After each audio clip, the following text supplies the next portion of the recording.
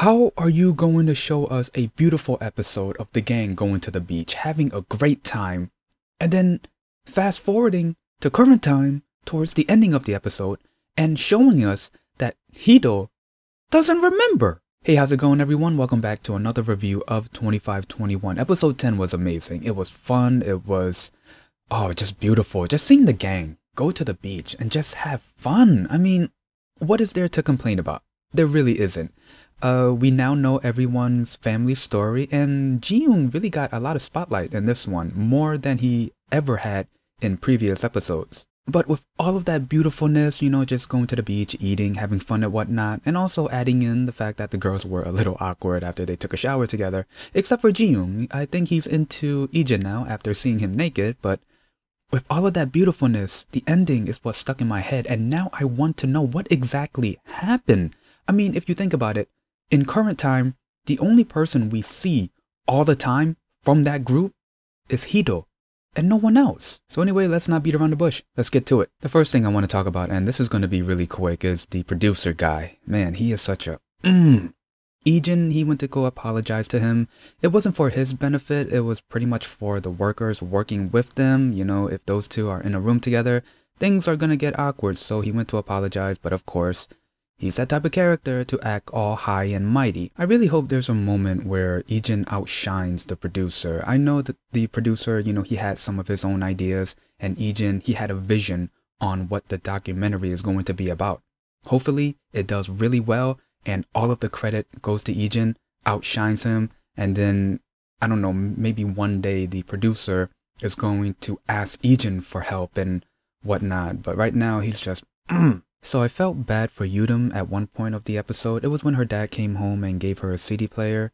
I mean, this whole situation is making her feel uneasy only because, you know, considering her family's financial situations, you know, they just took out another loan and they're in more debt.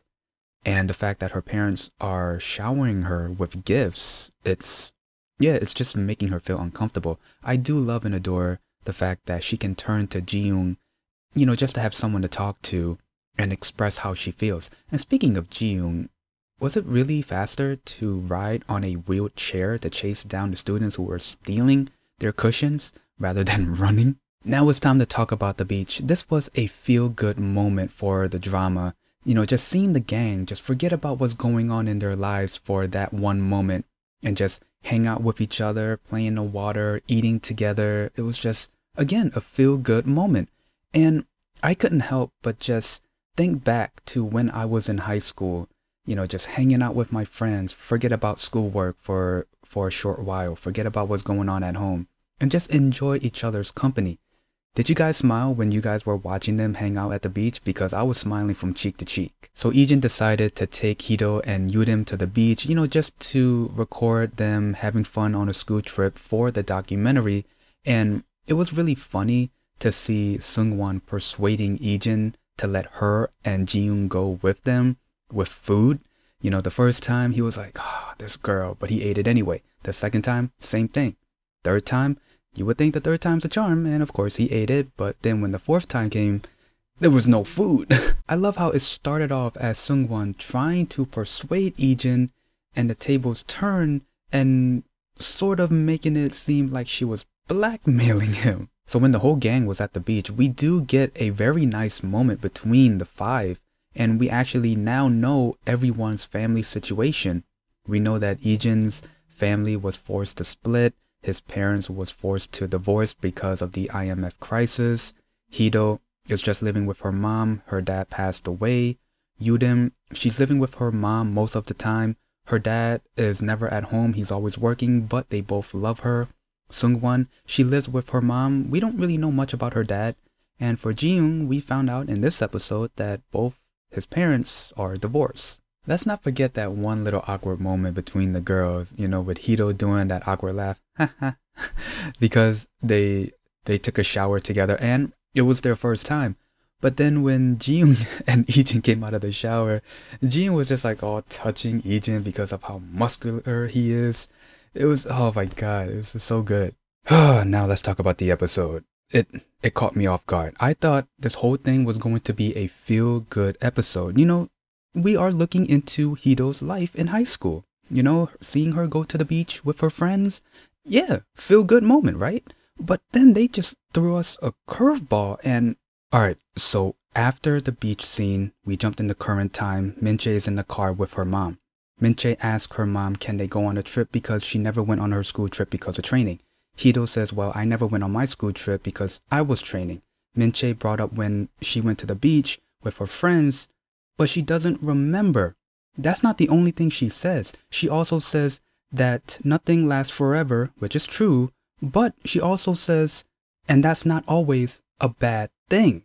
I don't remember nothing lasts forever, and that's not always a bad thing. What exactly happened between the group? You know what time it is, guys. It's theory time, and I have three on why HeeDo doesn't remember going to the beach with her friends. Number one, time goes on, you tend to forget some stuff that happens in the past. Understandable, happens all the time.